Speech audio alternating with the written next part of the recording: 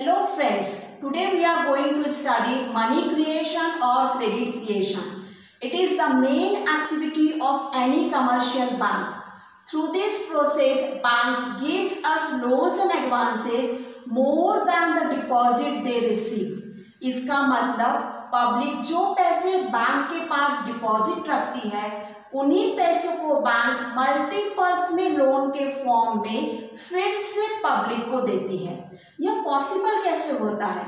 ये फ्रेंड्स ये पॉसिबल होता है मनी क्रिएशन और क्रेडिट क्रिएशन प्रोसेस से। अब हर इकोनॉमिक थ्योरी में कुछ अजम्पन्स होते हैं और यह अजम्पन्स आपको एग्ज़ाम में दिखने हैं। नहीं तो कोई भी थ्योरी प्रूफ नहीं हो सकती। The first assumption of money creation process is The entire banking system is considered one unit, termed as bank. India में बहुत सारी बैंक्स हैं, जैसे public sector bank private sector bank foreign bank इन सभी banks को मिलाकर बैंक एक unit एक सिस्टम मानी जाएगी the second assumption is all the receipt and payment transaction are done through bank इसका मतलब यदि मुझे कोई रिसिप्ट होती है तो वह मैं बैंक में डिपॉजिट करूँगी। यदि मुझे कोई पेमेंट करना है तो उसके लिए मैं चेक इशू करूँगी। कोई भी ट्रांजेक्शन कैश में नहीं होगा। अब बैंक को जितने डिपॉजिट्स मिलते हैं बैंक उसका हंड्रेड परसेंट लोन नहीं क्रिएट करती। उसमें से कुछ रिजर्व्स रखती है। इन रिज़र्व को कहते हैं legal reserve requirement L R R LRR is of two types, cash reserve ratio and statutory liquidity ratio. In June 2020, CRR is 3% and SLR is 18.5%. These rates are given by RBI. RBI can change these rates timely.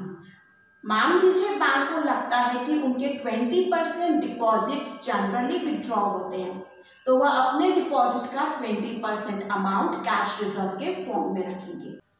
Friends money creation process को समझने के लिए हम एक table का use करते हैं। Exam में आपको भी यह टेबल बनाना होगा, जिसमें फोर कॉलम्स है। First is deposit second is loans and third is cash reserve L R R हमारा एल है twenty percent suppose mister A ने बैंक के पास डिपॉजिट किया रुपीज़ वन थाउज़ेंड अब वन थाउज़ेंड का ट्वेंटी परसेंट यानी two hundred rupees cash reserve रहेगा और बचे हुए eight hundred rupees bank loan के फॉर्म में दे सकती है। सपोज़ बैंक ने यह लोन मिस्टर बी को दिया। अब यह मिस्टर बी के अकाउंट में डिपॉजिट होगा, उन्हें कैश में नहीं मिलेगा। मिस्टर बी जितना चाहे इसमें से विड्रॉ कर सकते हैं। सपोज़ मिस्टर बी ने इस एट हंड्रेड रुपीज़ का चेक मिस्टर सी को पेमेंट के लिए इश्यू कर दिया। अब यह मिस्टर सी के अकाउंट में डिपॉजिट होंगे, क्योंकि हमने अजम्पन पढ़ा है कि कोई भी ट्रांजेक्शन कैश में नहीं होगा, सभी ट्रांजेक्शन बैंक के थ्रू होंगे। अब इस 800 का डिपॉजिट बैंक के पास क्रिएट होगा। इसका 20 परसेंट यानी one sixty rupees bank cash reserve रखेगी और बचा हुआ amount six forty rupees loan के फॉर्म में दे सकती है। सपोज़ बैंक ने यह सिक्स फोर्टी रुपीज़ का लोन मिस्टर डी को दिया। मिस्टर डी के अकाउंट में सिक्स फोर्टी डिपॉजिट हो गए जिससे उन्होंने मिस्टर ई e को एक चेक इशू किया। अब ये six forty rupees second round में बैंक के पास डिपॉजिट्स में आ गए। इस सिक्स फोर्टी से फिर से ट्वेंटी परसेंट रिज़र्व यानी वन ट्वेंटी एट रुपीज़ का रिज़र्व क्रिएट हुआ। और बचे हुए रुपए बैंक ने लोन के फॉर्म में मिस्टर एफ़ को दे दिए। अब यह प्रोसेस चलती ही जाएगी, लेकिन कब तक चलेगी, यह जानने के लिए हमें समझना होगा मनी मल्टीप्लायर मनी मल्टीप्लायर का फॉर्मूला है one upon L R R हमारा एल आर आर है ट्वेंटी परसेंट ट्वेंटी परसेंट यानी ज़ीरो पॉइंट टू ज़ीरो यदि हम ये डेसिमल रिमूव कर दें तो ये हो जाएगा हंड्रेड अपॉन ट्वेंटी यानी हमारा आंसर आएगा five times money multiplier is five times अब चेक करिए. हमारा इनिशियल डिपॉजिट है थाउज़ेंड रुपीज़ उसका फाइव टाइम्स यानी फाइव थाउज़ेंड रुपीज़ का टोटल डिपॉजिट बैंक के पास क्रिएट हुआ। फाइव थाउज़ेंड का ट्वेंटी परसेंट यानी one thousand rupees cash reserve रहेगा और बचे हुए फोर थाउज़ेंड रुपीज़ से लोन क्रिएट होगा। फ्रेंड्स आप अपने टेबल को क्रॉस चेक भी कर सकते हैं। देखिए वन थाउज़ेंड का five times five thousand eight hundred का फाइव टाइम्स फोर थाउज़ेंड और टू हंड्रेड का फाइव टाइम्स होता है वन थाउज़ेंड फ्रेंड्स यदि एल आर आर रेट हम डबल कर देते हैं फोर्टी परसेंट कर देते हैं तो हमारा मनी मल्टीप्लायर आधा हो जाएगा, यानी टू पॉइंट फाइव टाइम्स हो जाएगा.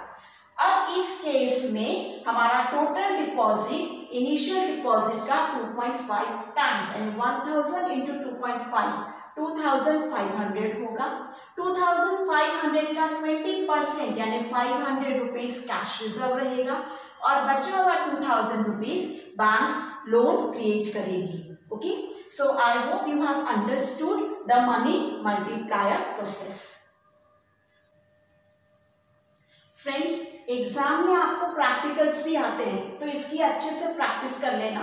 First question calculate the total deposit created by commercial bank if LRR is 10 percent and primary deposit is rupees one thousand two fifty crore सबसे पहले हमें मनी मल्टीप्लायर फाइंड आउट करना होगा, जिसका formula है one upon L R R L R R हमारा ten percent है ten percent यानी zero point one zero decimal remove करेंगे तो ये हो जाएगा न्यूमरेटर में हंड्रेड यानी हंड्रेड अपॉन टेन जिसका आंसर होगा टेन टाइम्स यानी हमारा मनी मल्टीप्लायर है टेन टाइम्स अब टोटल डिपॉजिट फाइंड आउट करेंगे, जिसका फॉर्मूला होगा initial deposit multiply by money multiplier initial deposit है one thousand two fifty crore उसे हम मल्टीप्लाई करेंगे मनी मल्टीप्लायर यानी टेन से. तो हमारा आंसर होगा twelve thousand five hundred crore that is the total deposit created by commercial bank with the help of initial deposit 1250 crores when LRR is 10%.